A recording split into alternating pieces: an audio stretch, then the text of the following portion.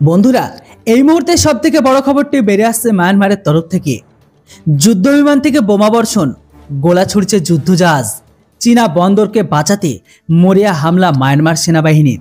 হ্যাঁ বন্ধুরা, চীনের মধ্যস্থতা যুদ্ধবিরতি সংক্রান্ত বৈঠক ব্যর্থ হওয়ার পরে সশস্ত্র বিদ্রোহী তিন গোষ্ঠীর জোট ব্রাদারহুড অ্যালায়েন্সের বিরুদ্ধে অভিযান শুরু করল মায়ানমার সেনা। বুধবার রাখাইন প্রদেশের রামরি দ্বীপে বিদ্রোহী গোষ্ঠীর ডেরায় বোমা থেকে শুরু করে মিসাইল হামলা চালিয়েছে মায়ানমারের বায়ুসেনা। পাশাপাশি ওই দ্বীপে মায়ানমারের নৌসেনা যুদ্ধজাহাজ থেকে গোলাবর্ষণ করছে বলে সরকারি সূত্রে জানা গিয়েছে। প্রসঙ্গত বাদর থেকে শুরু করে কুমির সহ অন্যান্য বন্যপ্রাণীতে ভরা ওই দ্বীপের উপকূলে একটি গভীর সমুদ্র বন্দর গড়ার জন্য চীনের সঙ্গে চুক্তি হয়েছিল মায়ানমারের সামরিক জুন্টা সরকারের।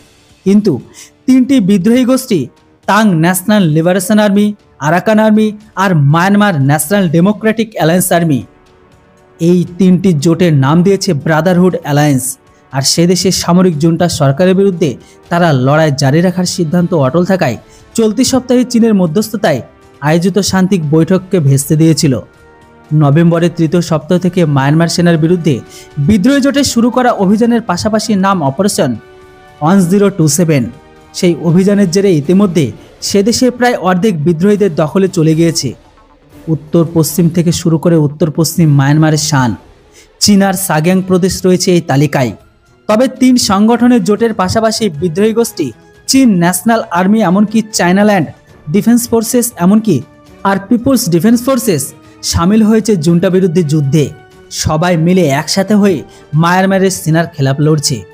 তবে মায়ানমারের গণতন্ত্রপন্থী শক্তির স্বঘোষিত সরকার, ন্যাশনাল ইউনিটি গভর্নমেন্ট জুন্টা বিরোধী রাজনৈতিক দল সান স্টেট প্রোগ্রেস পার্টি বিদ্রোহী সশস্ত্র গোষ্ঠীগুলির প্রতি সমর্থনকে জানিয়েছে।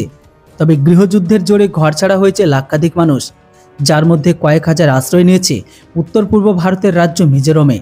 আর এই পরিস্থিতিতে ডিসেম্বরের গোড়ায় চীনা পিপলস লিবারেশন আর্মি কয়েকজন উচ্চপদস্থ আধিকারিক যুদ্ধবিরতির জন্য সক্রিয় হয়েছিল। তবে মায়ানমারের সরকারি TV channel Global News Light of Myanmar এসে এই কথা জানিয়েছিল সামরিক জুন্টা সরকারের মুখপাত্র জমিন তুন। কিন্তু শেষ পর্যন্ত বেজিংয়ের সেই উদ্যোগ বিফল হয়েছে বলে সোমবার আমেরিকাস্থিত আন্তর্জাতিক পর্যবেক্ষণ সংস্থা ইউএস ইনস্টিটিউট অফ পিস তারা জানিয়ে দিয়েছে। তবে তাদের রিপোর্টে এটাও বলেছে, ব্রাদারহুড অ্যালায়েন্স আরও দুটো সশস্ত্র গোষ্ঠী মিলে জুনটা সেনার ওপর হামলা চালাতে বিগ্রেড সিক্স অনার নামে একটি বাহিনীকে গঠন করেছে। দেশের বিভিন্ন প্রান্তের জনজাতিদের নিয়ে গঠিত হয়েছে এই বাহিনী। তারা এই মুহূর্তে লড়ছে লড়াই প্রথম সারিতে। রাখাইন রামরিদ্বীপ সামরিক অবস্থানগত দিক থেকে অত্যন্ত গুরুত্বপূর্ণ। তবে প্রতিরক্ষা বিশেষজ্ঞদের একাংশের মতে, সেখানে বন্দর তৈরি করলে ভারত মহাসাগর অঞ্চলে বেজিংয়ের প্রভাব আরও বাড়বে।